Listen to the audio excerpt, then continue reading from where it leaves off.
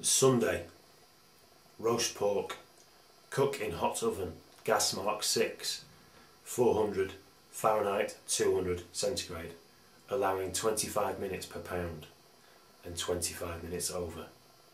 Rub fat or skin well with oil for crisp crackling. Sage and onion stuffing. Two large onions, 4 ounces wholemeal or brown breadcrumbs, 2 ounce fat, 1 to 2 teaspoons chopped sage seasoning. Partially cook onions, chop finely. Mix with breadcrumbs, fat, sage and seasoning. Bake in separate dish or make pocket in meat and insert stuffing. It will take one hour if baked separately. Glazed apples.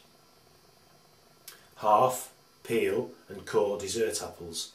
Put in meat tin 35 minutes before meat is fully cooked. Roll in the fat, then sprinkle lightly with brown sugar. Serve a round joint, topped with stuffing. Date upside down pudding. Dates, 1 orange, 3 ounces margarine, 4 ounces flour, 3 ounces sugar, 1 egg, milk to mix. Put thick layer of dates at bottom of oven-proof dish. Grate rind from orange and moisten dates with orange juice.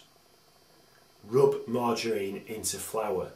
Add sugar, orange rind, beaten egg and milk to make a sticky consistency.